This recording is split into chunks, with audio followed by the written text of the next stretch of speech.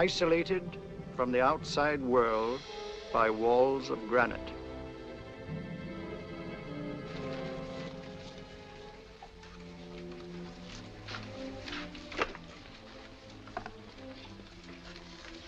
They say you could get out of here by merely telling what you know.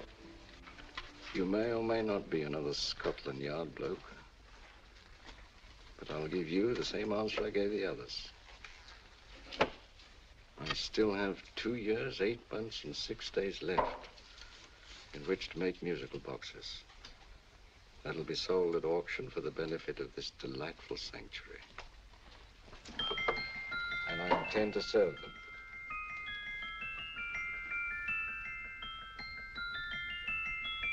Move along. And now we come to the next object on our list, or I should say objects, because there are three of them. Now, ladies and gentlemen, these can be bought together or separately. Now, these beautiful little musical boxes only arrived this morning, and I didn't intend to put them on the auction block until later, but I'm going to sell them now. So, good friends, as our old pal Mark Antony used to say, lend me your ears. and what do you hear? Right. The beautiful tinkle tinkle of a musical box. What a lovely trinket. What a beautiful gift. Created and made by loving hands. A thing of beauty and utility. I was going to start with five pounds. It's a bargain, five pounds. Do I see any hands? If there's a connoisseur in the house, will go three pounds for it. Two pounds. One pound. Ten shillings. Ten. Thank you, sir. Ladies and gentlemen, ten shillings is offered for a musical box you couldn't buy anywhere in London for less than five pounds. It'd be stealing to let it go for ten shillings. Like taking milk from a baby. All right, we're selling for ten shillings. Ten shillings, ten shillings is offered, ten shillings is offered, ten shillings is offered. And anybody give him one pound? Will give him one pound? Oh, won't someone give me a pound? Uh, a pound, one pound is offered, one pound is offered, ladies and gentlemen, one pound is offered. It's against you, sir. Will you go to two pounds? Will you go to two pounds, sir? Two pounds, two pounds is offered, two pounds is offered, going once, twice, third and the last call. Sold to the gentleman for two pounds. Sorry, my dear. Now, ladies and gentlemen, comes the opportunity to purchase an exact duplicate of the beautiful little musical box just bought by this gentleman for the ridiculous low price of two pounds. Oh, it's exactly the same. Exactly the same. Made with the same hands. You hear that? Isn't that lovely? That tinkle, tinkle, tinkle, tinkle. Sounds like Bow Bells to me, you know, little angels pulling on the ropes, eh? Who'll give me two pounds for it? Who's starting with two pounds? Will anybody start with two pounds? Oh, come, come, ladies and gentlemen. You know, from your enthusiasm, we might all be in Scotland instead of London. Please buy it for me, Daddy. Two pounds, certainly not. We all might be in Scotland. Besides, I don't like his manner. One pound, ten shillings. One pound. One pound is ours. One pound, one pound is offered. One pound is offered, going one pound.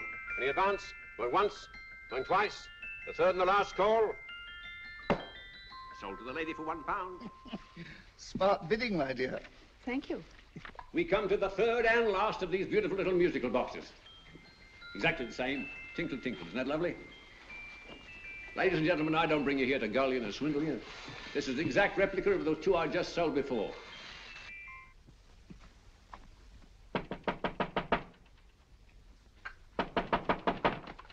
We're closed. But this is extremely important. Come in, sir, come in. I'm sorry to disturb you, but I was unfortunately delayed from arriving in time to bid on certain articles which I was rather anxious to obtain. Oh, perhaps they weren't sold, sir.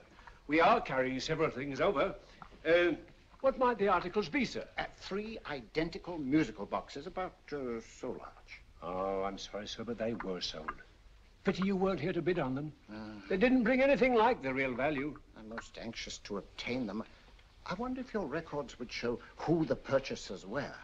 Oh, we don't usually give out that information, sir. For certain, shall we say, uh, sentimental reasons, I'm most anxious to get in touch with the purchasers. I'd be willing to pay, shall we say, uh, five pounds. Well, for certain sentimental reasons, sir, we'd be very happy to oblige. Alfred, today's sales. The three musical boxes. Musical boxes. Oh. Ah, here we are. The first purchase for two pounds from Mr. Julian Emery, 52 Portman Square. Write this address down, Alfred. Yes, sir. Second didn't leave any name. Oh, how unfortunate. Mm, I think she's a dealer. You see, they don't like us to know where the things are going. On account of the profits. You say the uh, second purchaser was a woman.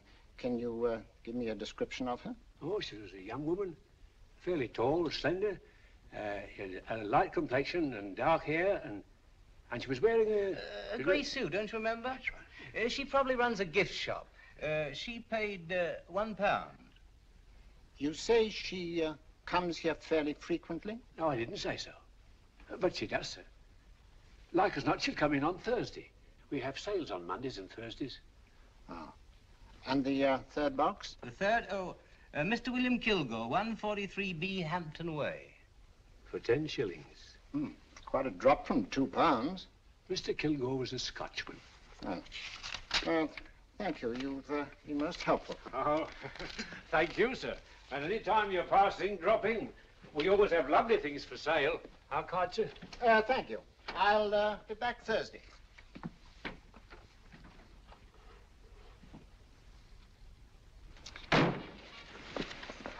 The message reached us too late. Musical boxes are being sold. Well, let's get out of here.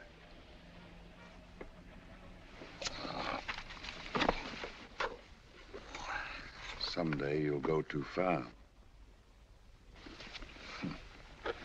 Reaching for a star, you fool. Yet a fool may touch a star, Colonel Kavanaugh, if he but reach high enough. But not possess it as you would. The musical boxes, they're being sold. What a pity for you, my dear Colonel. Is it my fault that the message reached us only an hour ago? Is it my fault that they were sold? She can't hold me responsible for that. Hope for your sake you're right.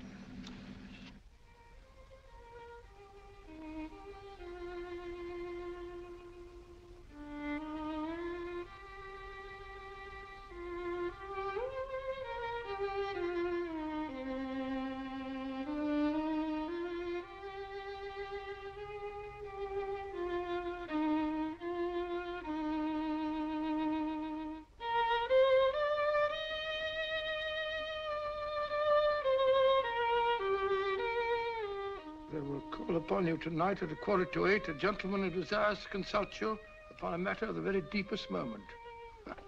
Remember that letter, Holmes? It was written over two years ago. An interesting case, devilishly interesting. Hmm. Irene Adler. What a striking looking woman from the brief glance I had of her. Seems only yesterday. What charm. Hmm. What poise and what a mind. Sharp enough and brilliant enough to outwit the, the great Sherlock Holmes himself. I take it the new issue of the Strand magazine is out, containing another of your slightly lurid tales. It is indeed. And what do you call this one? I call it A Scandal in Bohemia. Not a bad title, eh? Hmm. If you must record my exploits, I do wish you'd put less emphasis on the melodramatic and more on the intellectual issues involved. More on the inter... What do you mean by that? Well, I do hope you've given uh, the woman a soul. She had one, you know. By the woman, I suppose you mean Irene Adler. Yes. I shall always remember her as the woman.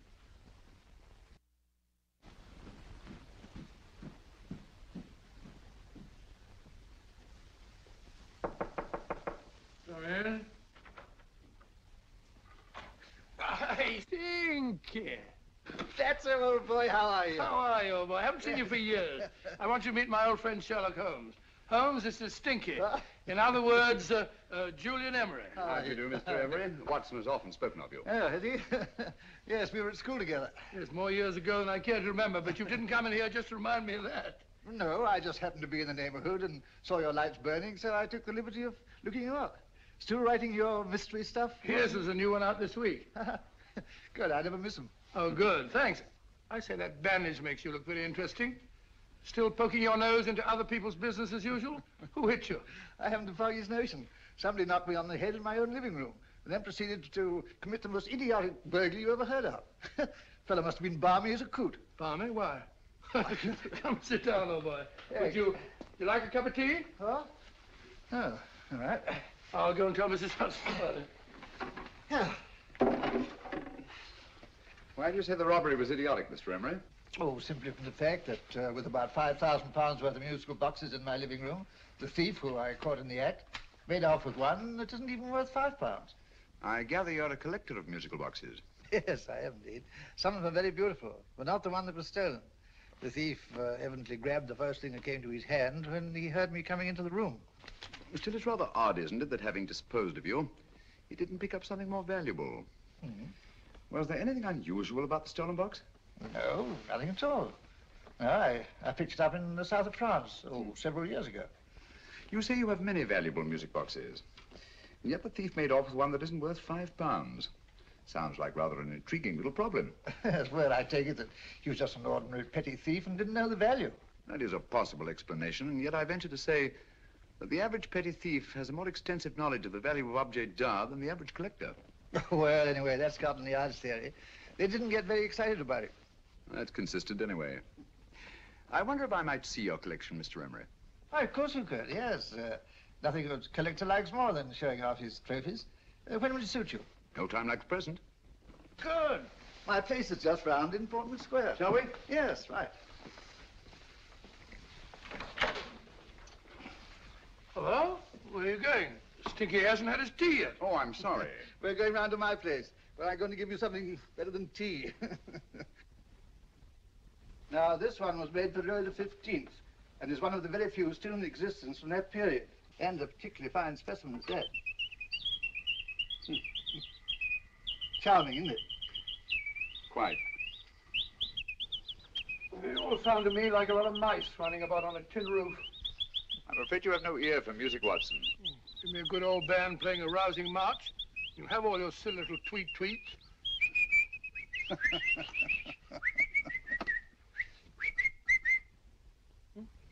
Another one. Is this me?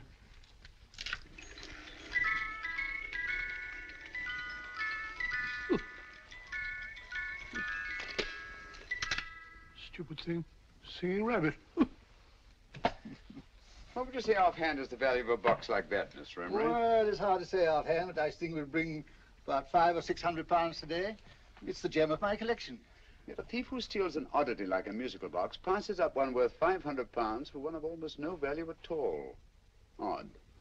Very odd. What was the stolen box like, Mr. Emery? Oh, just a plain wooden box about um, so big. As a matter of fact, I have one over here almost exactly like it. I picked this up yesterday at an auction room in Knightsbridge. Paid only two pounds for it. Of course, I wouldn't in the ordinary way add one like this to my collection, but the, um, the tune intrigued me. I'd never heard it before.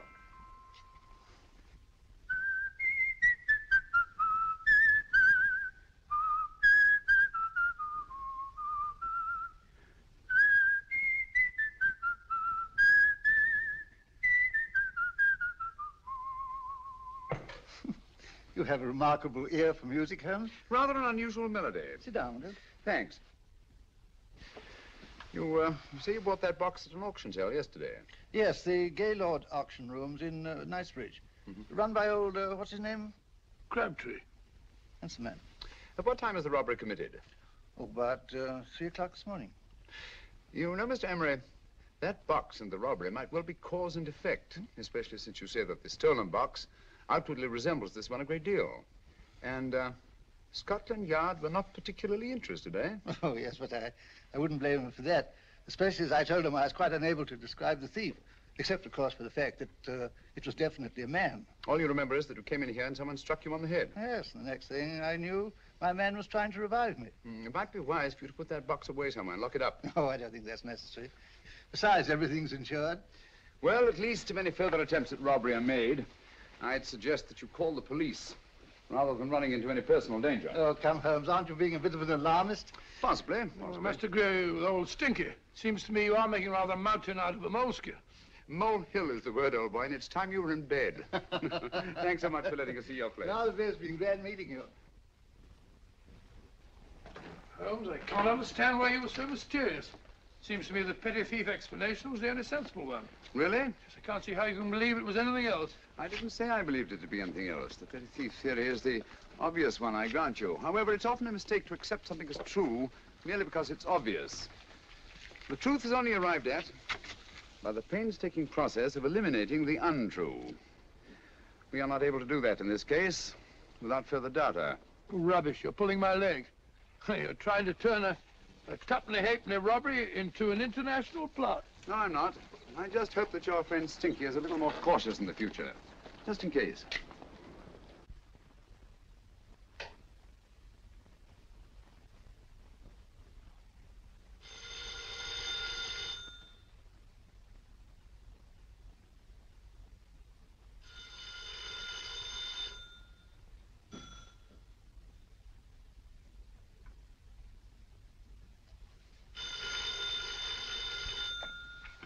Hello? Yeah? Julian Emery here. Who? Why, I, of course I remember you, Mrs. Courtney. yes, yes, you're the one bright spot at that appallingly dull affair of Lady Sanford's. huh? Of course it isn't too late to come round. Yes, I shall be delighted to give you a drink. I tell you what, come straight up and I'll leave the door unlatched. Right, uh, well, 15 minutes? I shall be counting each moment. no, I mean that, really. right, goodbye.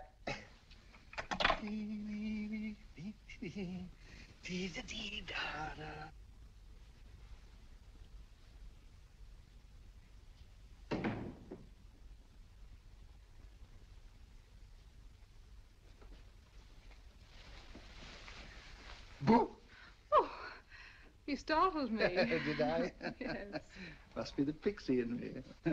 I know I shouldn't have called you so late.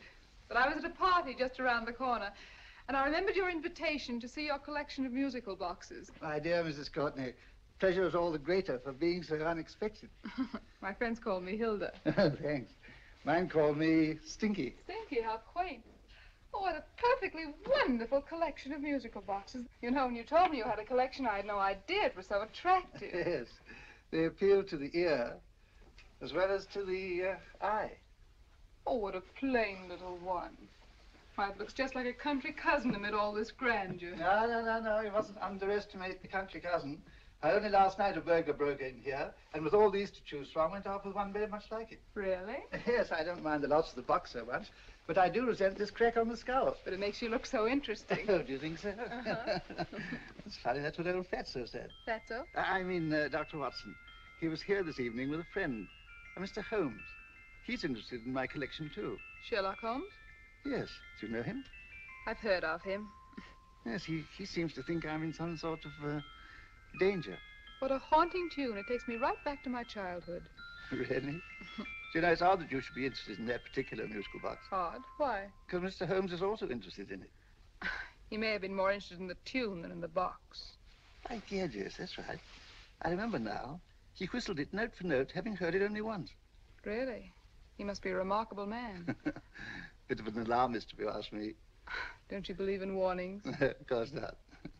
Who'd want a box like that? I would. You're not serious. Oh, but I am.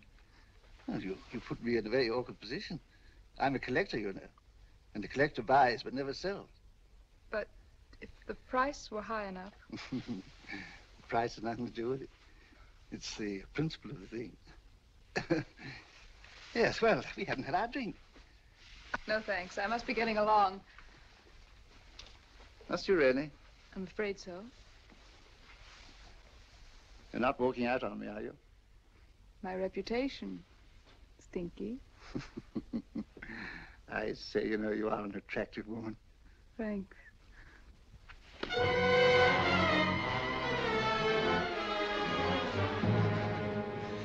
You fool. I told you to wait outside.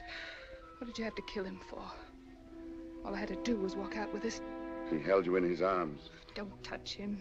Don't touch anything. Now get out. I'm sorry. You're sorry. What about me? This is murder. What about Scotland Yard? What about Sherlock Holmes? Now get out!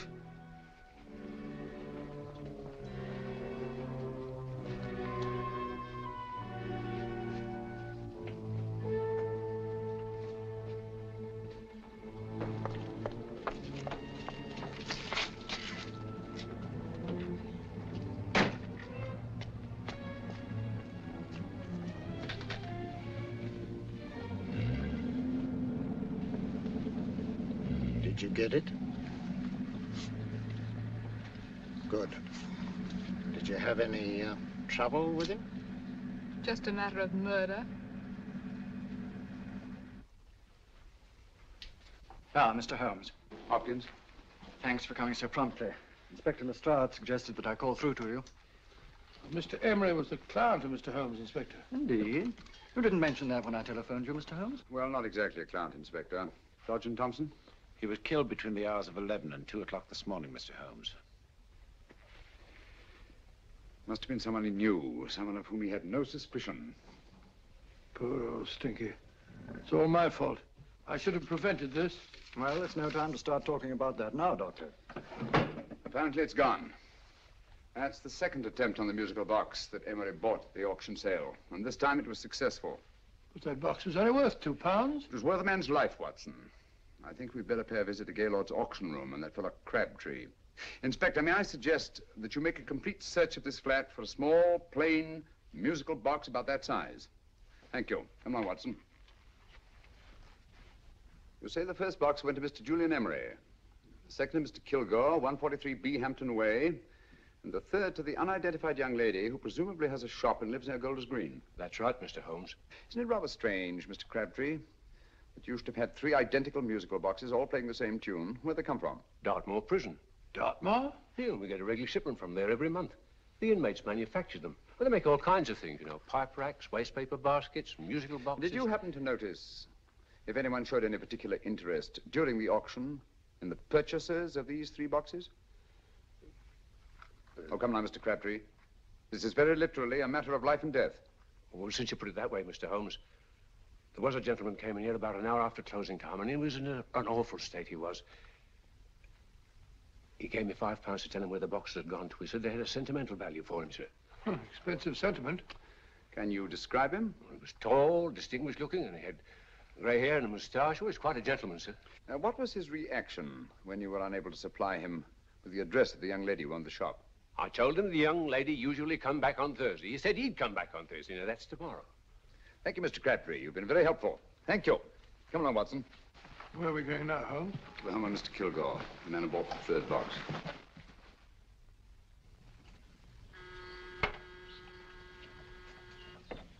But hang it all, Holmes, how do you know those other two musical boxes are of any importance? I don't, but I certainly have no intention of waiting until the owners are murdered to find out. No one at home. I hope that's the explanation. I'll have a look through this window.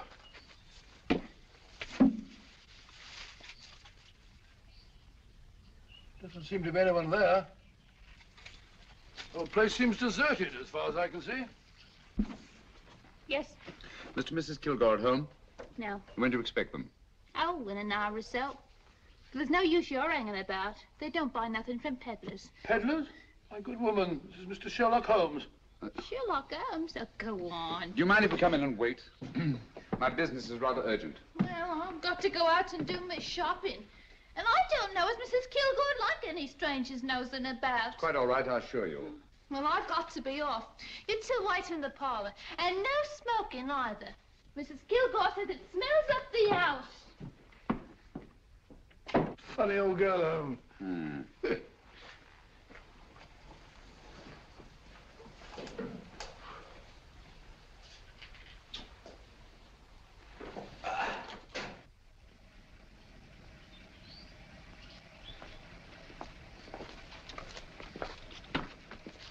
Lane.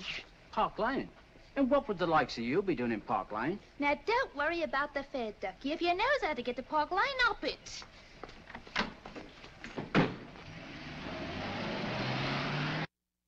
You know, Holmes, I've been thinking. There must have been something hidden in that box of old Stinky's. Stolen jewelry, possibly. What's up, Holmes? Listen. What's just the steam in the water pipes?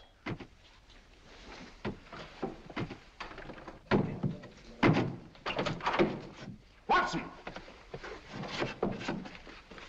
Great Scott! Come on, Holmes. Get on the chair here. All right, my dear. There, there, there.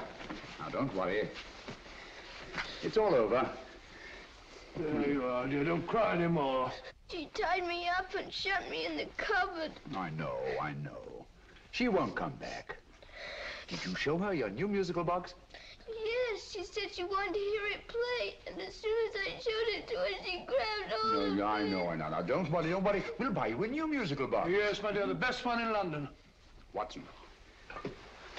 Oh, what a fool, what a fool I've been. What do you mean, Holmes? She took the musical box out of this house and that market basket. Right under our very noses. Why could the, the Kilgore charwoman want to take the music box? She isn't the Kilgore charwoman. She's a consummate actress. An extremely clever, unscrupulous woman who will stop at nothing. Take care of the char, will you, Wolfella, till, till our parents get back. Explain everything to them. Of course I will. But, Holmes, where are you going? Somewhere, somehow, I must get to the young lady who bought that third musical box before our opponents find out. I only hope that I won't be too late. Oh, no. No, no. You, you mustn't cry anymore. Now, cheer up. Would you, would you like to hear old Uncle make a noise like a duck?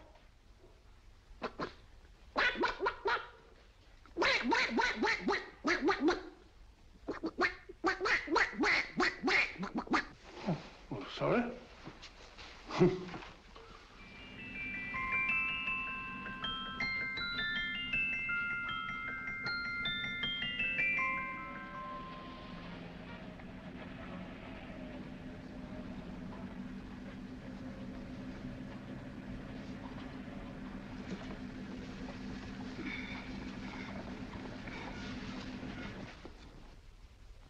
ladies and gentlemen, how much am I offered for this beautiful lace Dresden china figurine? A lady of the French court. Now, this is the genuine article. What a beautiful ornament for your mantelpiece. Or you could use it as a centerpiece on the dining room table. Now, will somebody start me for ten pounds? Will somebody start me for ten pounds? Eight pounds? Seven pounds? All right, five. Five pounds is offered, five pounds is offered, five pounds is offered, five pounds 10, 5 pounds 15, 5 pounds fifteen.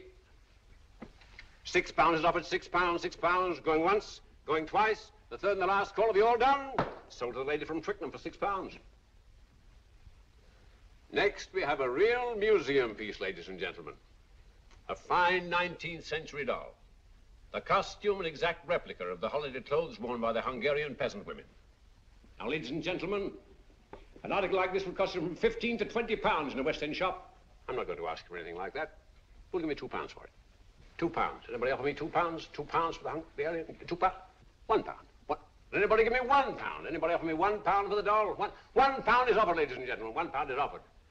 Now, I'm not going to waste your valuable time or mine in trying to get one half of what this beautiful doll is worth. If the young lady can steal it for one pound, that's her good fortune. So it's going once, it's going twice, the third and last call. Any more? Sold to the young lady for one pound.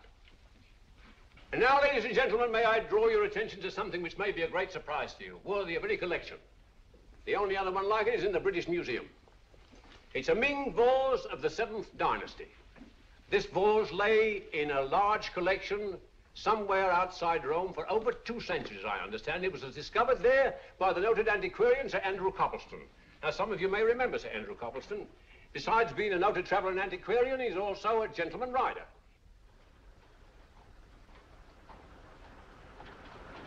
A girl with a parcel in her hands, that's her. Are you sure that's the girl? Well, she fits perfectly the auctioneer's description. Follow her, Hamid.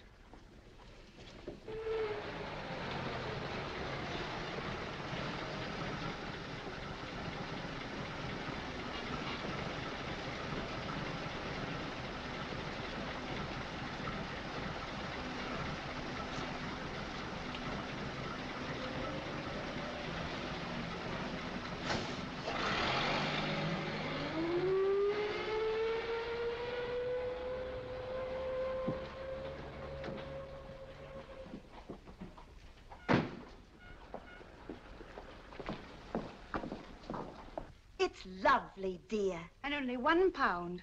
We can get at least three for it. Easily. I'll go make some tea. I could do with a cup. Right.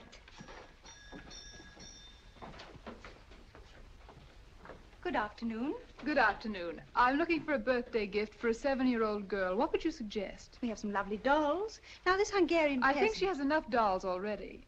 Books are always welcome. Well, I- I'm looking for something a little different. Well, that's rather cute. Uh, what is it? Oh, that's a musical box. Children always love them. And this is an exceptionally nice one. It plays many tunes.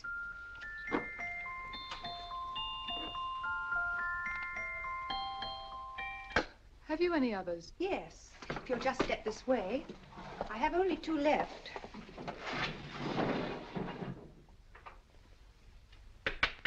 How nice.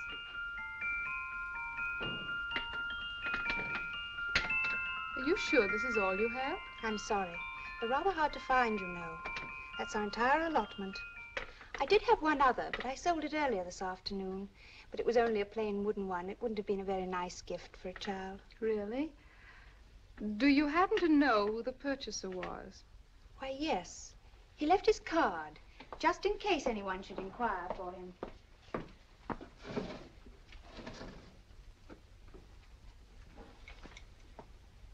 How interesting. I'm sorry, but I'm afraid I'll have to look a bit further. Thank you anyway. Uh, good afternoon. Thank you.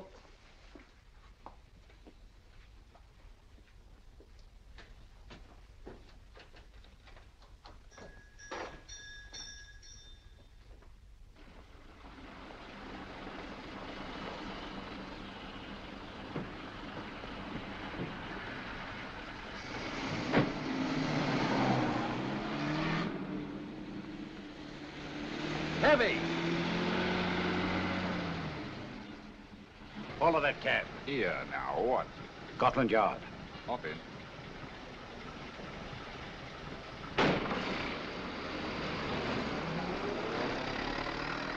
Sherlock Holmes. I might have known. We thought we were the hunters, instead of which we're the hunted. We've been fools. We played right into his hands. Of course. He's had us followed. Don't look.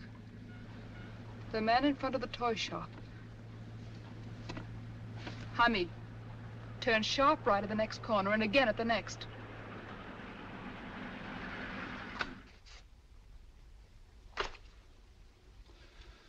No photograph of her, Commissioner. As I expected. She's not a known criminal. But how do you expect to know if you do find her? After all, she was disguised as, as a charwoman. Don't worry, old fellow. If I ever see her again, I'll recognize her. Well, it won't be long till we know who they are and from where they operate. Who's covering them? Uh, Sergeant Thompson's following them, sir. They won't get away from him. He's a good man. We could have arrested them at Clifford's toy shop if we had any proof. But we know that they killed Emery. Proof, my dear fellow. We must have proof. We have x-rayed it, sir. There's nothing whatever concealed in the box. We'll have a look at the plates.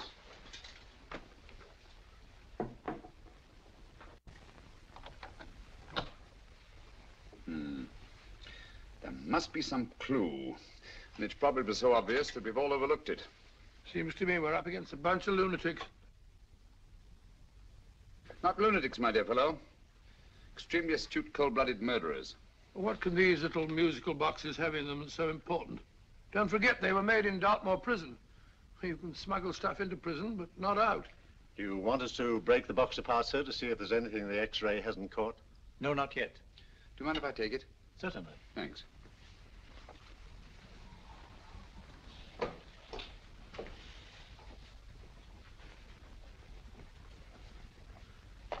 The governor of Dartmoor Prison informed us, sir, in answer to Mr. Holmes' uh, question, that all three musical boxes were made by the same convict, John Davidson, serving a seven-year term, sir. Davidson? The Bank of England plates. That'll be all. Yes, sir.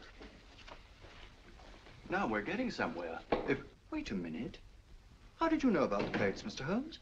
I'm a student of crime, Inspector. I make it my business to know about such things. And when the name of Davidson was mentioned... Well, who is this fellow Davidson? As long as Mr. Holmes seems to know all about it already, I suppose there's no harm in telling you. Uh, two years ago in London, there occurred a robbery of such tremendous importance, uh, although the stolen articles themselves have no intrinsic value whatsoever, that the Home Secretary was instrumental in seeing that not a word of it appeared in any newspaper. But you never told me anything about this, Holmes. You were away at the time. Articles of no intrinsic value and yet of such importance?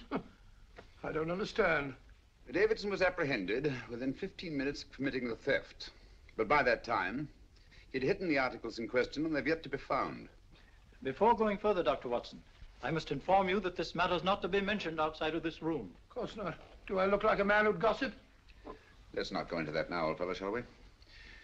Davidson had been employed for years in a position of extreme trust by the engravings department of the Bank of England. The articles he stole were nothing less than a complete duplicate set of plates for printing five-pound notes. What? The Bank of England's own plates? Precisely. And with those plates, a gang of crooks could flood England with five-pound notes, not forged in the usual sense of the word, but notes undetectable from genuine Bank of England notes in any way whatsoever. Good heavens. Any whisper at all might have resulted in enormous damage in shaking public confidence in the Treasury. We tried everything after we arrested Davidson. Offered him a shorter sentence if he'd tell us where he'd hidden the plates. Why, we even put in Scotland Yard men with him as cellmates, but no results. Obviously, Davidson's a man of strong character and infinite patience. Yet suddenly he feels impelled to smuggle out the secret of the hiding place of the plates to his confederates. Why? I don't understand, Mr. Holmes.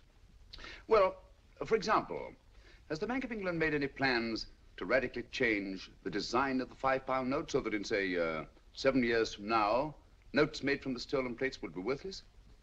Confidentially, Mr. Holmes, such a move was discussed. But replacing all the five-pound notes in circulation would be such a Herculean task that nothing's been done about it as yet. I see. Of course, there is another possible explanation. Davidson didn't have much time to find a hiding place before he was captured. He may be afraid that the plates will be accidentally discovered before he's released. Hence his anxiety to communicate their whereabouts to his confederates as soon as possible. I believe you've hit it, Mr. Holmes. I'm sure that the message is contained in this musical box. Or rather, in all three musical boxes, since possession of all three seems to be essential. Our opponents have two-thirds of the puzzle, we have one-third. Well, what are you going to do, Holmes? Try to deduce the message from the one-third that we have.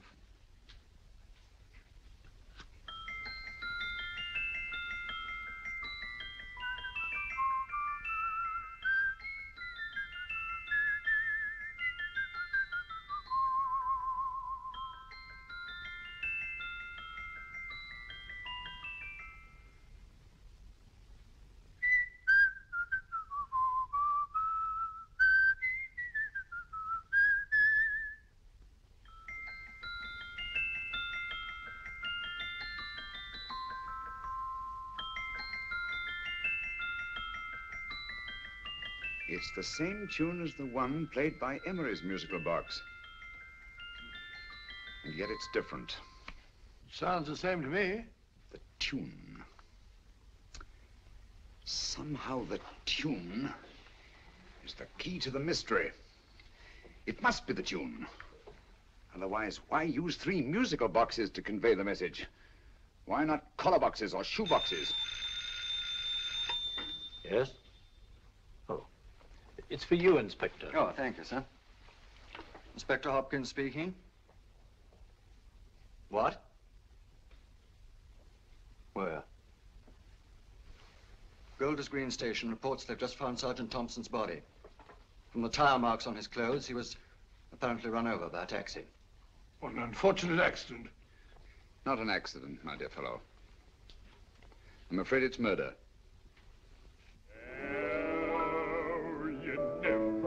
Just who you're going to meet.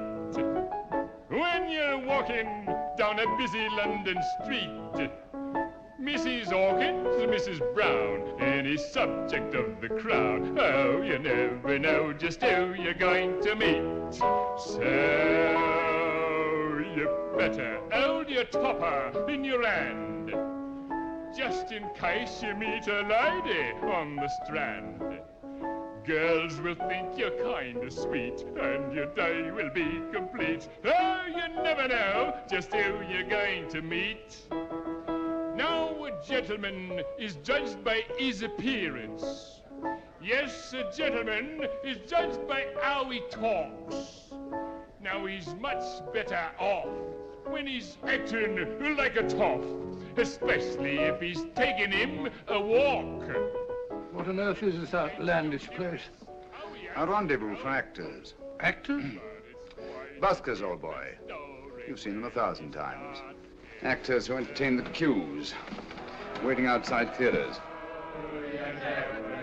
Just who you're going to meet when you're walking down a busy London street. So you better wear your best velvet pies to look your best, cause you never know just who you're to meet. So you better keep your manners right in view. Just in case a lie gives a how'd you do. Keep your trousers in a pleat, shine your shoes and keep them neat, cause you never know just who you're to meet. Blimey. Mr. Holmes. How are you, Joe? Never met him. And yourself? Fine, thank you. I want you to meet a friend of mine, Dr. Watson, Joe Sisto. Oh, well, any friend of Mr. Holmes is a friend of mine. Hi, Joe. He did me a good turn once that I'll never forget. Yes, I cleared Joe of a most unpleasant charge. Murder, no less. Oh, really? By proving to the satisfaction of the police that he was busy at the time blowing open someone's safe. That's right, Governor. Good gracious me. Now, Joe, uh, now you can help me. Come on, buzz off, buzz off. Come on, up it, up it. Can't a gentleman have some peace and quiet around here? And you too. There you are, Mr. Holmes. Now we can have some peace and quiet around here. Thank you, Joe. There's five pounds in this for you. Well, I wouldn't want to take it on myself, sir. But I can get somebody to do it for you for half of that. You don't know what the job is yet. For five pounds? Murder, ain't it? What? No, Joe, not murder, just uh, music. I want you to identify a song for me. Oh, there ain't a song that's been written that I don't know. That's why I came to you. Of course, the violin is more my instrument, but, um, oh well. Here we go. Now listen to this, Joe.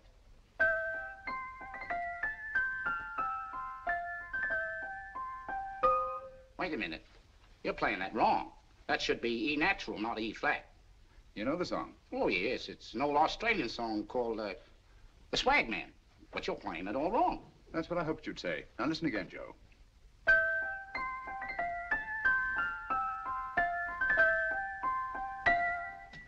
That's the same tune, all right.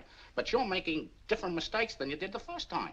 No, not mistakes, Joe. Call them variations. Here, play the song for me, will you, the way it's written.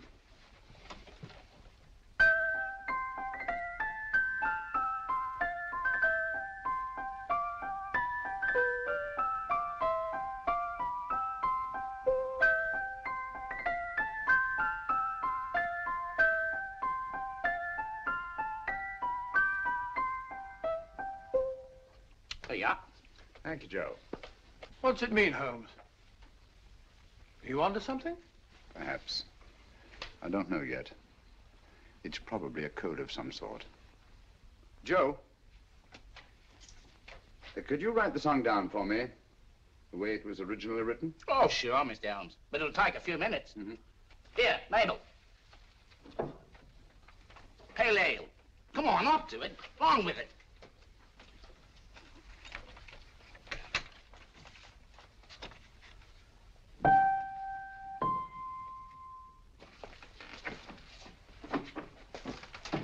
Obviously it isn't the lyrics. No combination of those words made any sense at all. The variations in the way Emery's musical box played the tune are different from the variations in the one we have. You sure? Quite. You see, I took the trouble to memorize the tune as played by Emery's box that night we were with him in his flat. Holmes, oh, you amaze me. Elementary, my dear fellow. One of the first principles in solving crime is never to disregard anything, no matter how trivial. But why the three boxes? Why not one? Because the message was obviously too long to be conveyed by any one variation. Then there's the third box, the one that woman took from the Kilgores. That contains yet another set of variations. Yes, well, it's all beyond me. Well, all we have to do now is to find the secret of the variations. Not a very easy problem to solve, my dear fellow.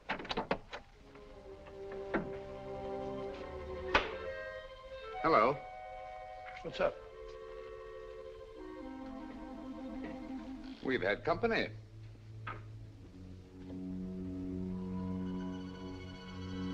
I say, this is outrageous. Ask Mrs. Hudson to come in here, will you? Right.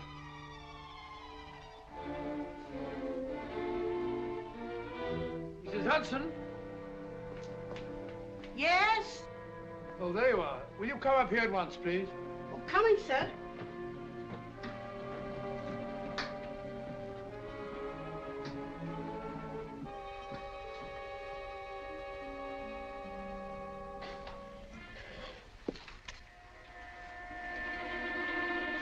Mercy me, Mr. Holmes.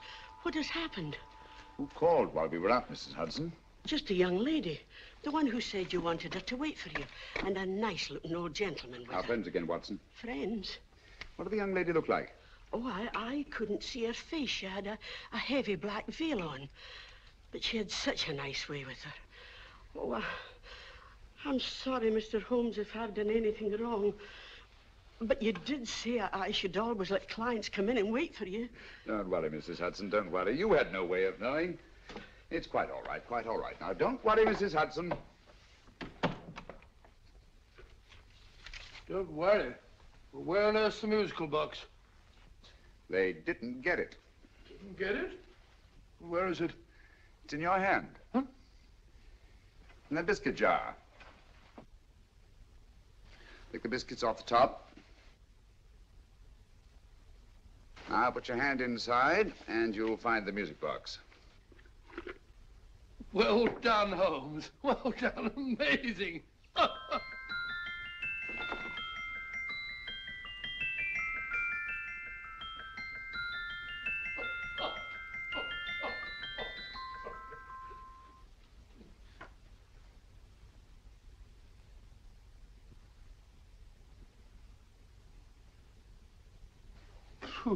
nice fresh smell.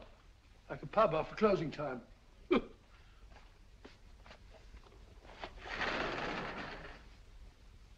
I say, Holmes, What? it's morning.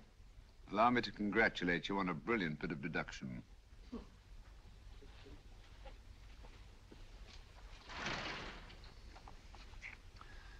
It's not a transposition, not a polygraph transposition, not a trigraph, nor any known form of decoding.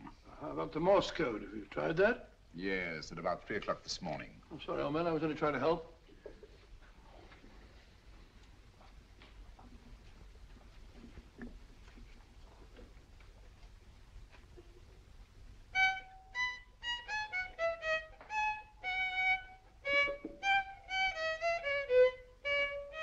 Oh, do me a favor. Not again. Must have heard that thing a thousand times. Me awake all night.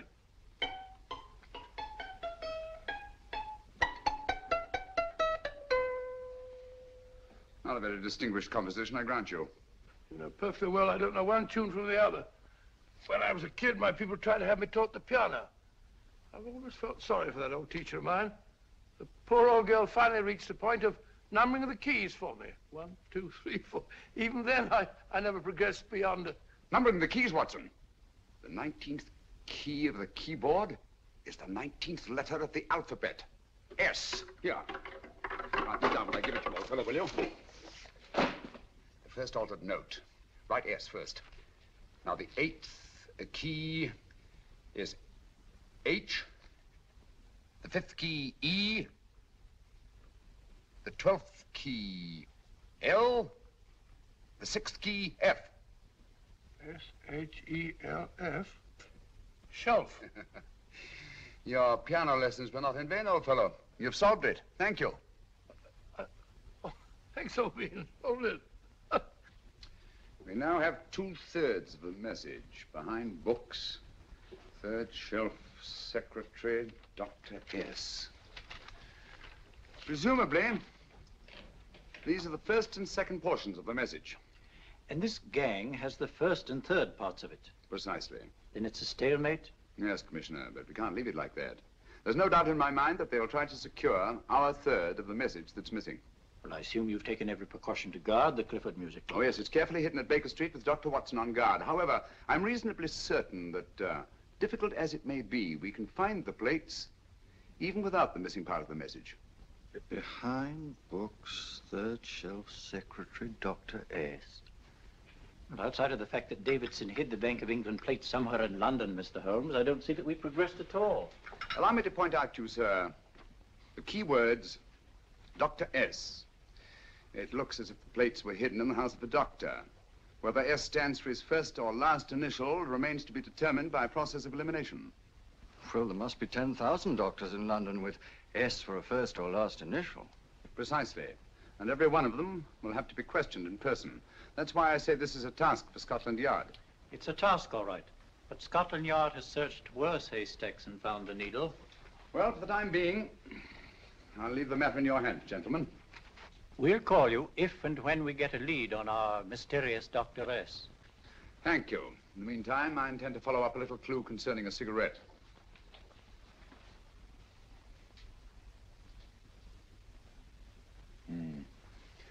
You're certain of the identification of the tobacco?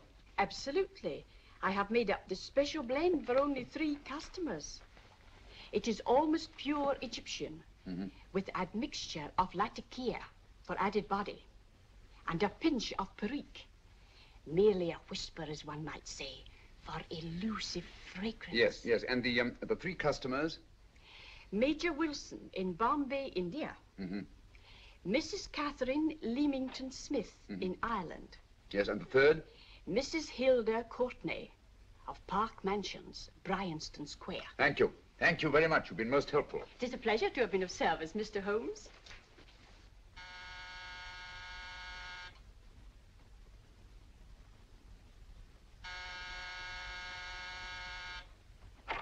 Yes? Mrs. Courtney, Yes. uh, my name is Sherlock Holmes. Do come in. Thank you. I've heard of you, of course, Mr. Holmes. I believe we have a mutual friend in Sir Edward Brookdale. He's spoken to me of you quite often. Indeed. And to what good fortune am I indebted for this visit? I think you know Mrs. Courtney. well, I, I did get a summons for speeding last week. But outside of that, I don't think I'm of any interest to the police. Oh, come now, Mrs. Courtney. You seem to forget that you and I have met before. I'm sorry. I'm sure I would have remembered meeting the great Sherlock Holmes. Please sit down. Thank you. You say we met before. Yes. At the home of Mr. and Mrs. Kilgore, 143B Hampton Road. Kilgore? I don't think I know anyone of that name. Well, I didn't say you knew them. As a matter of fact, you called on them when they were out. I don't understand, Mr. Holmes. Really? And you were dressed rather differently. Indeed. Cigarette? Thank you.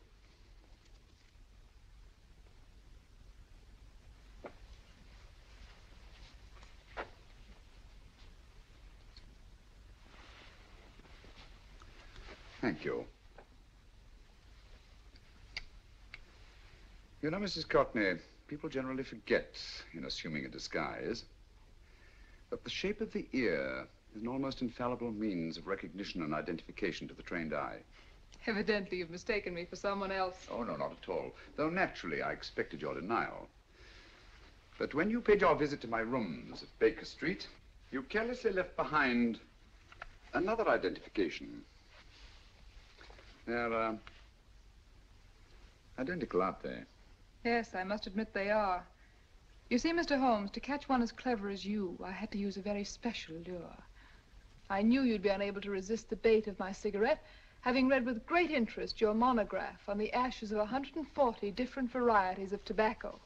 I should advise you not to move, Mr. Holmes. I must congratulate you on your ingenuity, Mrs. Courtney. It was indeed a brilliantly designed trap. Thank you, Mr. Holmes. Praise from a master is indeed gratifying. I shall always cherish the memory of your flattering words. Memory? Precisely. I'm afraid these gentlemen have a most regrettable task to perform.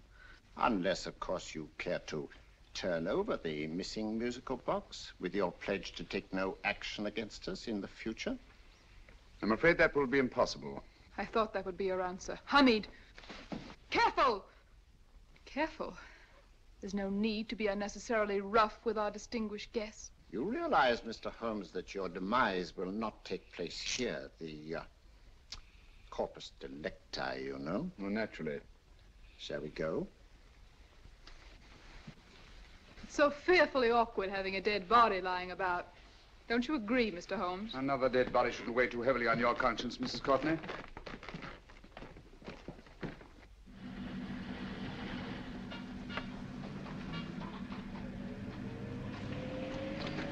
Mind if I have a cigarette?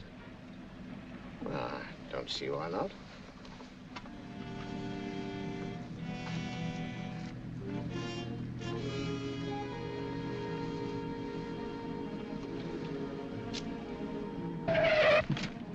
Be careful, Hamid. It's the brakes, they bind. Thank you, Colonel Cavanaugh. It's very considerate of you.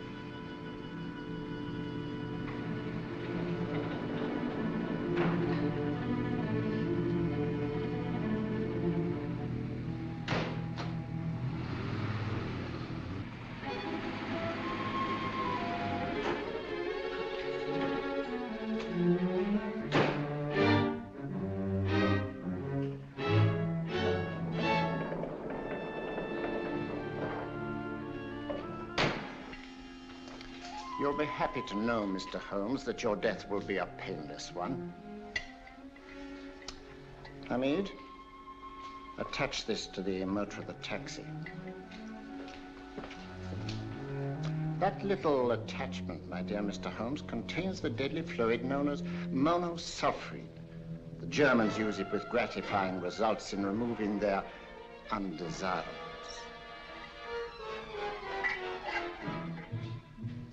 Start the motor.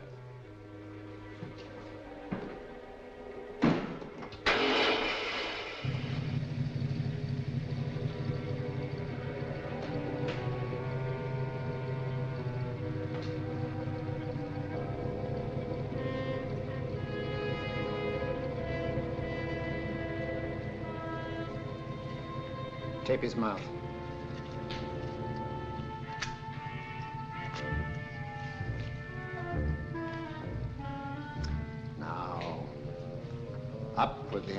Hamid.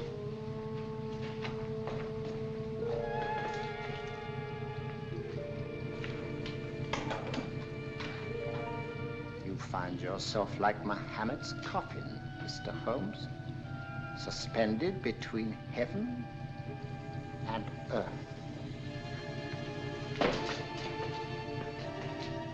Plenty of fuel in the tank? Good. It would be too bad to have anything go wrong through so simple an oversight.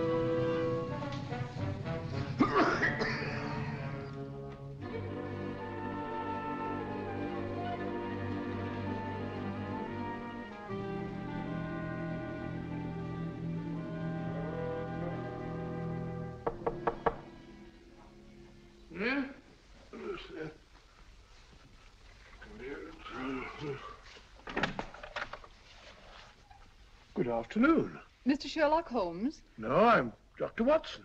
Oh, of course, Dr. Watson. How stupid of me. Oh, so, stupid of me. Won't you come in? Well, I, I really came to see Mr. Holmes. Oh, I'm afraid he's out. I don't know when he'll be back. Perhaps there's something I can do. Well, won't you sit down? Thank you.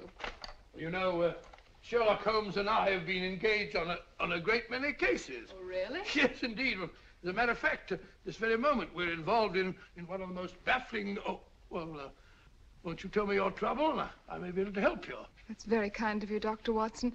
Perhaps if I wouldn't be imposing too much. Imposing? Oh, there's no imposition. No imposition at all. A pleasure, I assure you. Now, tell me all about it, Miss... Uh, Miss Williams. Mrs. Williams. I live in Surrey, Dr. Watson, and, and I've come up to London in sheer desperation. My only sister has disappeared, and the local police seem utterly unable to find her. Well, Holmes and I solved a case exactly like that once. Very interesting, as far as I remember. Uh, I call it the the adventure of the, the, the solitary cyclist. Oh, sorry. Uh, now I come to think of it, it wasn't so very similar. Was entirely different. I think what I was saying. uh, oh, uh, where were we? She's only 17, Dr. Watson, and until she disappeared last Thursday, she seemed to be in the best of spirits. Po- Possibly a, a romantic entanglement? Oh, no, no, nothing of the sort. She left no note, didn't even pack a bag, no explanation. She just started to walk to the village from our house in broad daylight and simply vanished from the face of the earth. Oh, there, there, there, there. Might I have a glass of water? Glass of, glass, glass of water. Have one in one minute.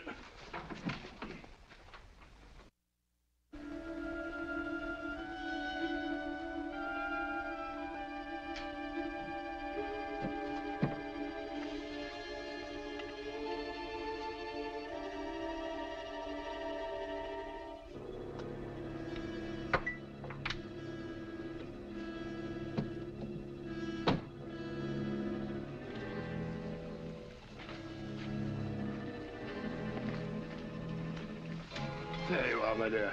Thank you, Dr. Watson. No, no, no, you're not to cry anymore. You must pull yourself together. Oh, I feel much better already knowing that you're going to help me. Oh, Dr. Watson, look! Good heavens! Oh. Get through, get through the fire brigade, quickly.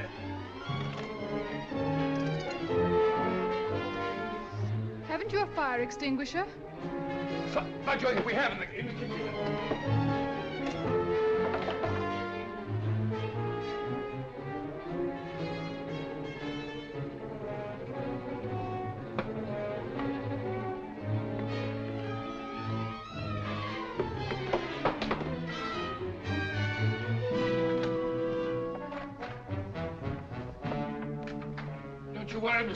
Have this thing out in no time.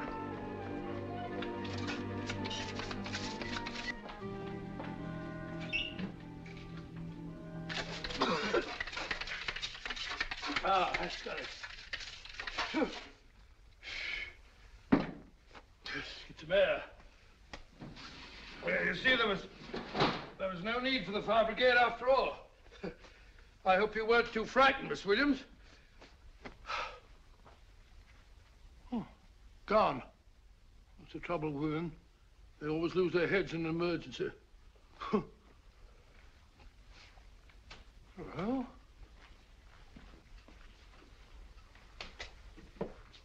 a musical box. Great Scott! Miss Williams!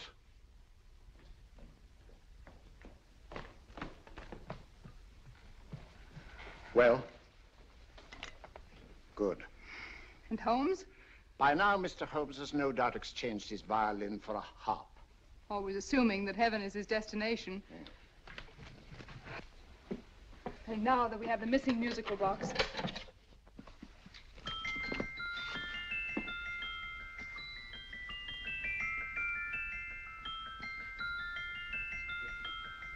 Nineteenth note. Nineteenth letter. Yes. He hasn't been there, you say? Holmes, where on earth have you been? I've been trying to get you at the club, at Scotland Yard, all over London. You were looking for me in the wrong places. Holmes, uh, terrible things happened. I've been duped. That woman, she made a complete fool of me. Well, what do you mean? Well, she came here, let off a smoke bomb. I thought the whole place was on fire, and my first thought was to, to save the musical box. No need to say any more. She has the box. Yes. Don't blame yourself too much, old fellow. She is an extremely clever antagonist. Smoke bomb, you said? well, you can console yourself with the thought that your charming friend is at least a reader of yours. What do you mean? If I remember correctly, you wrote about my little experiment with smoke and the cry of fire in a story you entitled A Scandal in Bohemia, which has just appeared in the Strand magazine. All right, all right, old boy. Don't rub it in. Well, it may cheer you up to know that you made a fool of me, too. Ah, that cigarette stub was planted here for one express purpose. We're going to bandaging around this place. Bandaging? What's the matter, Holmes? You hurt? Explanations will have to wait until later. At the moment, we're faced with a problem which I fear is insurmountable. Come over here, old boy, will you? Right. Our opponents are in possession of all three parts of the code. And here are we, while the Bank of England plates pass into their possession. Cheer up, old fellow, cheer up. As Dr. Samuel Johnson once said, there's no problem the mind of man can set that the mind of man cannot solve. What's that, old fellow? I was just quoting Dr. Samuel Johnson. He said there is Thank no... you, Watson. Thank you. Hmm? Leaving the front reception room, we come into the main hall, where Dr. Johnson was in the habit of passing through to have his meager meals in the dining room opposite, in company with his friend and biographer, James Boswell. We will now pass up the stairway, which remains in its natural wood finish, just as it was when the good doctor was here. The framed etching on the wall is believed to have been presented to Dr. Johnson by the distinguished painter, Sir Joshua Reynolds. I've been told here that that picture was given him by Mrs. Thrale, and it's definitely not a Reynolds. Is that important, my dear? Oh, I'm sorry. Uh, this way, ladies and gentlemen, please, this way. Move along, children, move along. The secretary's not on this floor. Patience, Hamid. I've a feeling My that... dear Colonel, with Sherlock Holmes out of the way, what could go wrong?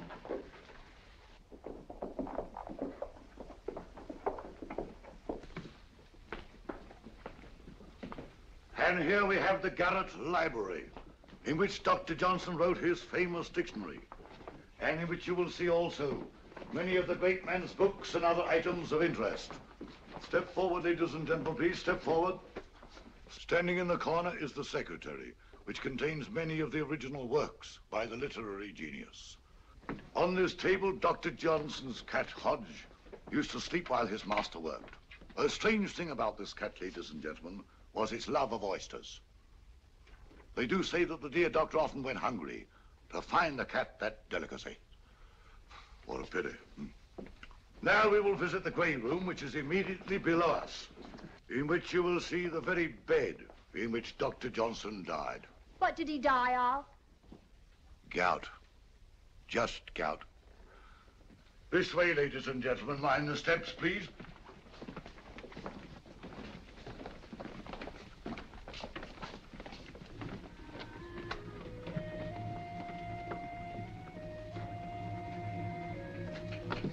Your keys.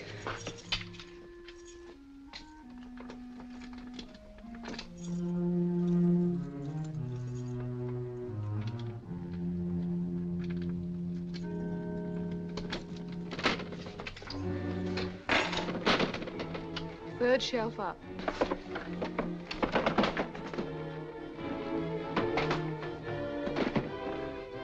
The knife.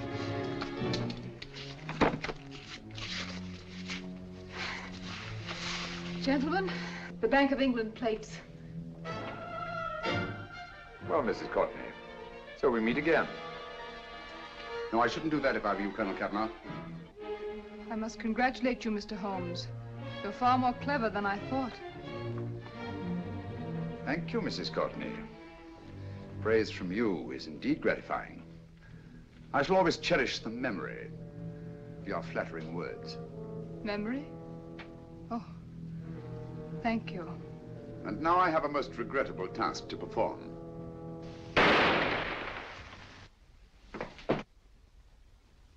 Holmes! Coming, Holmes! Holmes! You all right? Perfectly, thank you, old fellow, but I think this gentleman on the floor requires some medical attention. We must see that he looks his best, you know, when he's hanged. Take them in charge.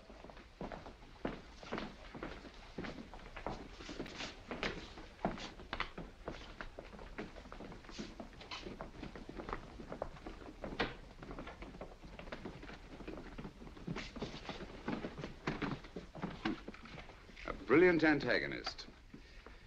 It's a pity her talents were so misdirected. Now, will you see that these plates are returned to the Bank of England, Inspector? I still don't understand how you solved it, Mr. Holmes. It's entirely due to Dr. Watson. He gave me the clue when he mentioned Dr. Samuel Johnson. Well, congratulations, Doctor. Oh, thank you, Inspector. I don't think I'd have done it entirely without Mr. Holmes's help, you know.